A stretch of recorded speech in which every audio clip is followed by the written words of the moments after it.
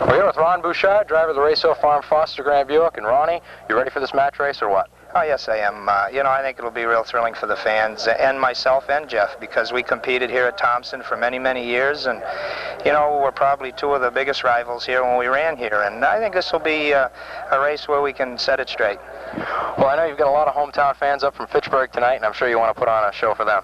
Oh, definitely. You know, there's a lot of people that are coming from home, and, uh, you know, it's a chance for people to see Grand National race cars. You know, it is only two, but, uh, you know, it's the best thing we can do. We'd like to have 40 of them here if we ever could, and uh, right now we can have the two cars. We're going to show them an authentic pit stop during, you know, about halfway through the match race, and uh, I think it'll just give them a chance to see what we do on Sunday. Now, you won a pole earlier this year at Nashville, and uh, I understand this is the same car. Yes, it is. Uh, we ran this car at Nashville and Bristol and the short tracks, and uh, you know it runs real good. Uh, two weeks ago or three weeks ago, we set on a pole at Nashville, and we got in a Busch Clash because of it, and that really made us happy. How does things look for the rest of the year for Ron Bouchard and the Race Hill Farm team? Well, I think they're progressing. Uh, you know, we moved last year about winter time, and uh, in the process of getting the shop ready and building race cars and getting them ready to run Daytona and things, that really put us behind. And you can see a difference. The last four or five races, I'd say, if we had any luck, you know, we were there, we could have won one or two. And uh, we just haven't had a lot of luck yet, but we are running good, and that's half the battle. Once you do run good, you know, you can get in there and win a race. Well, good luck tonight and the rest of the season. Okay, thank you very much, Richard. Buddy Baker, driver of the Wood Brothers Valvoline Ford. And Buddy, you're making a trip up here to New England, and uh, you're not racing tonight, but you put on a show at Hudson Sunday, and I understand you had a good time. Had a great time, and I had an awfully good car to run. And uh, Ronnie and I won the heat races and started in the rear in the feature and uh, worked our way right up to the front. And then we, uh, I run over a car going in the corner, but uh, the car was really good, and everybody's been super good. And it's nice to see the race fans around here like you are in Virginia, North Carolina, and all down through the South. They uh, really love their racing, and everybody's been extra nice. Well, I know you're looking forward tonight with the match race between Ronnie and Geoff, and uh, it'll be your first time flagging, and I know you're going to be able to get back at some of the flagmen that have uh, done some nasty things to you over the years. well, it's going to be a good race. Uh, Geoff and uh, Ronnie both are, are good race drivers, and I think it's going to add to the local show. And then they also have an awfully good feature here that everybody ought to come out and see. It's going to be a great race.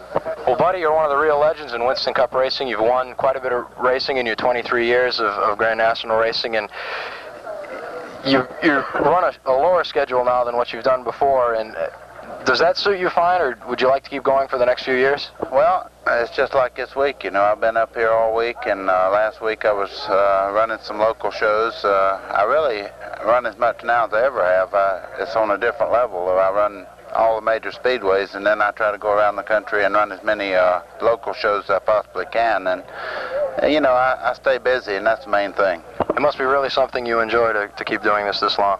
Well, very much so. Uh, I don't look forward to the day when I no longer crawl through the window because I do love it, and I hope I got uh, several more years of good Grand National racing.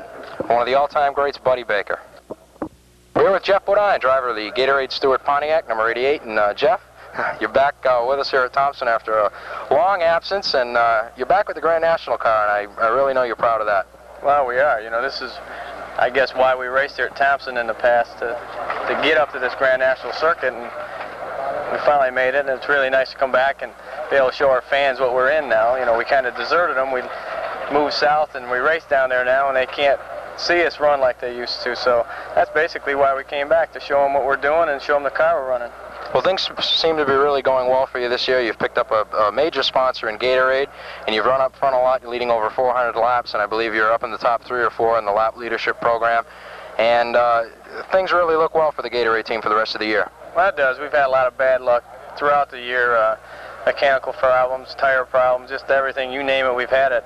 And uh, But we've run well. You know, we've run up front, like you said, and we're always a contender. So, uh, you know, we feel good about the way we've been running. We just got to change that luck, get the monkey off our back, I guess. And, you know, I'm sure we're going to, before the year, year's out, we're going to win a race or two. How about tonight? You're racing against Ronnie, and you both run well on the short tracks this year. Ronnie's got a pole on a short track, and, and you've run really well on some of the short tracks that are similar to Thompson. And uh, there's not too many people other than you that know how to set up a car for this racetrack. So do you, you think your chances are good for tonight? Well, we're going to give it our best shot. We've got a good car. It's been running good on the short tracks, and um, you know it's going to be a heck of a race. Ronnie, like you say, has come on these last few races, and they're running real strong. And um, who knows what's going to happen out there. We're going to give it our best shot. The, the crew's going to work hard. They're going to make a pit stop, and you know they're going to give it their all. So I think whoever gets out of the pits first might be the winner. Well, I know you guys are really going to go at it tonight. This is not a show, and this is really a race because there's a lot of pride at stake. Well, that's right. I, no one remembers who finishes second. It doesn't matter what race is in. They, they always only remember the winner. So neither Ronnie or myself uh, want to be forgotten when we leave here. So we're both going to try to win. Well, that's it from Geoff Bodine prior to the match race here tonight. Thanks, Geoff.